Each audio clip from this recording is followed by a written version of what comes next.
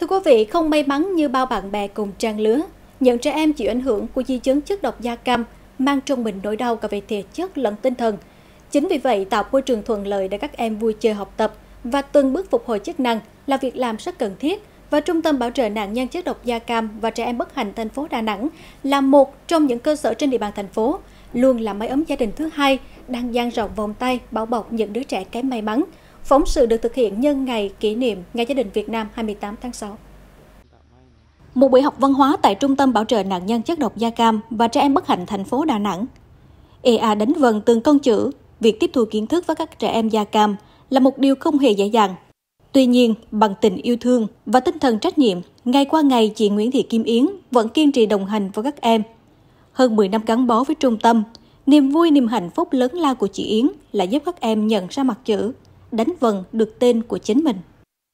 Dạy các em bình thường đã là khó nhưng mà các em ở đây là à, kỹ năng trí tuệ à, cho nên là dạy các em rất là vất vả. À, một cái chữ A mà các em một tháng cũng không nhớ nổi cho nên là điều đó phải cần mình phải là nhiệt tình tận tâm. À, mình học hỏi tìm hiểu các phương pháp để làm thế nào để dạy cho các em tiếp thu nhanh à, để các em càng ngày các em phát triển về cái khả năng trí tuệ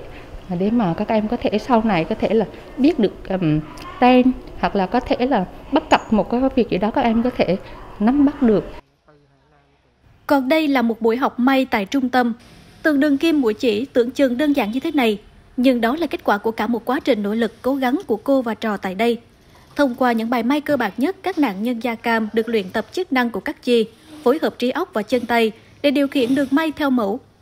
Muốn cho các em là học có một cái nghề sau này là ra để các em có thể là kiếm sống được một cái trung tâm là một cái cái cái công ty nào đó để họ họ họ họ, họ nhận các em cho dù là các em không làm được với bằng các người bình thường. Nhưng mà các em cũng có thể là cắt chỉ hoặc là xếp hàng hoặc là đóng kiện đóng đồ vô cho họ. Không chỉ riêng lớp học may 120 trẻ tham gia sinh hoạt học tập tại đây được phân chia vào các lớp học kỹ năng khác nhau dựa trên mức độ khuyết tật, khả năng nhận biết, trong vòng tay yêu thương, chở che của cán bộ công nhân viên tại trung tâm đã làm vơi đi phần nào những nỗi đau mà các em đang phải gánh chịu. Dịch bệnh từ năm 2020 đến nay thì có thể nói là rất là khó khăn, rất là khó khăn. Khó khăn ở cái quá trình tổ chức ừ, học tập cho các cháu, khó khăn ở cái chỗ là à, phải quy động được cái lực lượng tham gia à, trong à, quá trình chăm sóc à, hỗ trợ giúp đỡ nạn nhân tại trung tâm cũng như ở cộng đồng. Đó. Và một cái đặc biệt nữa là cái cái nguồn lực để phục vụ cho các cháu.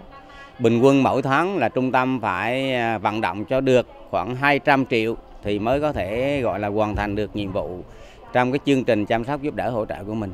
À, tuy nhiên à, trong cái khó khăn đó thì hội cũng à, bằng mọi cái nỗ lực của mình à, bằng vận động tổ chức cá nhân Ngoài với doanh nghiệp ra thì còn tổ chức ờ, hệ thống chính trị để